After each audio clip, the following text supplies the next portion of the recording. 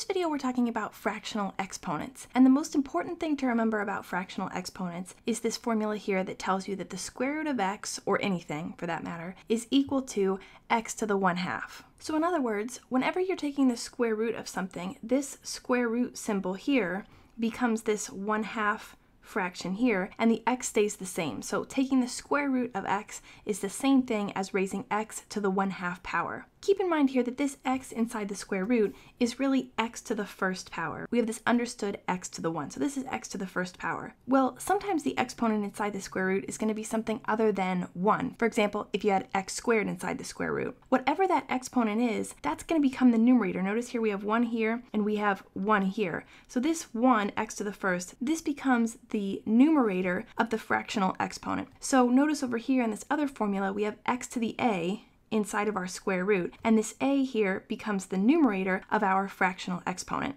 The base here of 2 this comes from the fact that we're taking the square root. If we're taking the third root, then this denominator is going to be 3. If we're taking the fourth root, then the denominator is going to be 4. When we're just taking the square root, the denominator is 2, and that's the only time when we don't have some number right here. If we're taking anything other than the square root, we're going to have a number right here, and that's going to become the denominator of our fractional exponent, and that's the root that we're taking. a here is always going to be the power on the base, and b, the denominator, is going to be the root. So let's look at a couple of examples that'll make this more clear. So we have here 2 to the 1 4th power. We know that 1 is the power and that 4 is the root. So what we're going to do is write our square root here, and we take the numerator and we make that the power on the base. So this is going to be 2 to the 1st. We're going to take 2 to the 1st and put it inside of our square root. The 4 comes out here and becomes the fourth root of 2 to the 1st. Of course, writing anything to the first power is redundant, so we'll just go ahead and say the fourth root of 2. If we look at another example here where we have 4 to the negative 1 half power, well remember that when we have a negative exponent, we can make it a positive exponent by moving the whole thing, including the base, to the denominator. This is really 4 to the negative 1 half over 1. So if we pull a 4 to the negative 1 half out of the numerator,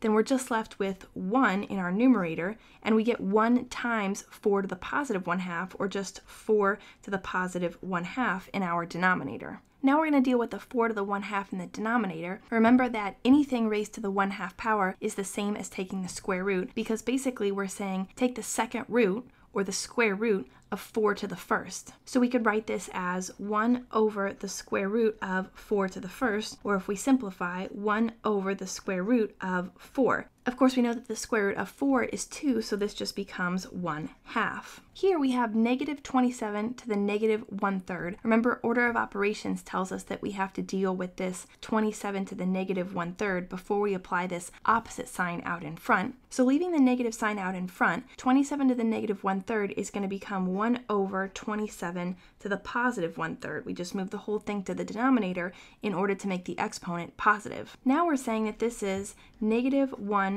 over the root of 27 to the first, and it's going to be the third root. We take the numerator and make it the power on 27. We take the denominator and make it the root. So the third root of 27 to the first, which of course is going to be negative 1 over the third root of 27. It's redundant to write 27 to the first. Now, what's the third root of 27? Well, the third root of 27 is whatever number we can multiply by itself three times in order to get 27. Of course, that's going to be 3 because 3 times 3 times 3 is 27. Remember, 3 times 3 is 9, times 3 again is 27. So the third root of 27 is 3, so this becomes negative 1 over 3. Now, if we look at our last example, again, we'll ignore the negative sign out in front. We'll deal with the 8 to the negative 2 thirds.